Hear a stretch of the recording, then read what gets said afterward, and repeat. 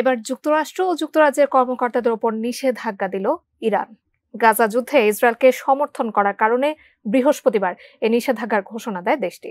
এর আগে গত আঠারো এপ্রিল ইসরায়েলে হামলার অভিযোগে ইরানের ওপর নিষেধাজ্ঞা দেয় মার্কিন যুক্তরাষ্ট্র ও যুক্তরাজ্য। পাল্টা পাল্টি নিষেধাজ্ঞা কিসের ইঙ্গিত দিচ্ছে? জানাচ্ছেন এস আই রাজ। ছয় মাসেরও বেশি সময় ধরে ফিলিস্তিনে হামলা চালাচ্ছে দখলদার ইসরায়েলি বাহিনী। এই হামলায় প্রতিদিনই প্রাণ হারাচ্ছে নিরীহ ফিলিস্তিনিরা। গত সাত অক্টোবর থেকে এখন পর্যন্ত চৌত্রিশ হাজার পাঁচশো আটষট্টি ফিলিস্তিনি প্রাণ হারিয়েছেন। এর মধ্যে অধিকাংশই নারী ও শিশু। এছাড়া আহত হয়েছে আরও সাতাত্তর হাজার সাতশো পঁয়ষট্টি জন। এদিকে গাজা ইস্যুতে ইসরায়েলকে সমর্থন করায় এবার মার্কিন যুক্তরাষ্ট্র ও ব্রিটিশ কর্মকর্তাদের ওপর নিষেধাজ্ঞা আরোপ করেছে। ইরান, ইসরায়েলের চিরশত্রু ইরান জানিয়েছে, সাত মার্কিন নাগরিক আছে তাদের নিষেধাজ্ঞার তালিকায়।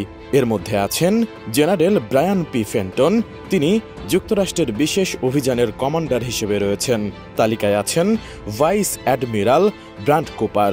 তিনি মার্কিন নৌবাহিনীর পঞ্চম বহরের সাবেক কমান্ডার। ব্রিটিশ নাগরিক ও প্রতিষ্ঠানও আছে এই নিষেধাজ্ঞায়। ইরানের নিষেধাজ্ঞার তালিকায় আছেন ব্রিটিশ প্রতিরক্ষা মন্ত্রী গ্র্যান্ট শ্যাপস।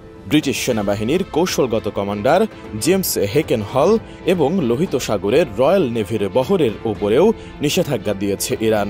এছাড়াও মার্কিন অস্ত্র নির্মাতা লকহিড মার্টিন, শেভরন এবং ব্রিটিশ এলবিট সিস্টেমস, পার্কাল মেগিট ও রাফাল ইউকের ওপরও বিধিনিষেধ আরোপ করেছে ইরান।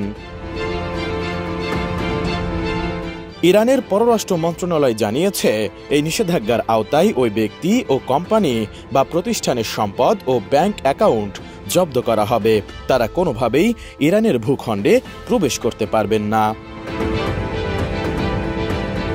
এর আগে গত আঠারো এপ্রিল ইরানের ওপর নিষেধাজ্ঞা আরোপের ঘোষণা দিয়েছিল ইহুদিবাদী ইসরায়েলের প্রধান মিত্র দেশ মার্কিন যুক্তরাষ্ট্র। একই সঙ্গে যুক্তরাজ্য সরকারও ইরানের ওপর নিষেধাজ্ঞা দিয়েছিল।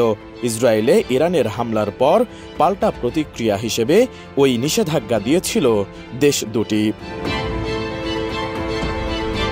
ও নিষেধাজ্ঞা আরোপের বিবৃতিতে মার্কিন প্রেসিডেন্ট জো বাইডেন বলেছিলেন, যুক্তরাষ্ট্রের মিত্র এবং অংশীদাররা ইরানের অস্থিতিশীল সামরিক কর্মসূচি সীমিত করার জন্য অতিরিক্ত নিষেধাজ্ঞা এবং ব্যবস্থা জারি করেছে। তাই ট্রাজারি বিভাগ সহ মার্কিন টিমকে ইরানের সামরিক শিল্পকে আরও অবনতি করে এমন নিষেধাজ্ঞা আরোপ করা চালিয়ে যেতে নির্দেশ দেওয়া হয়েছিল।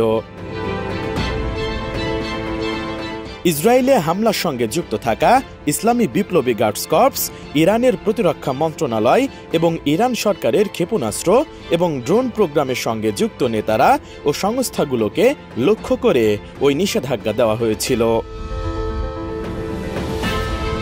এস আয়রাজ ডেস্ক রিপোর্ট, এটিএন নিউজ।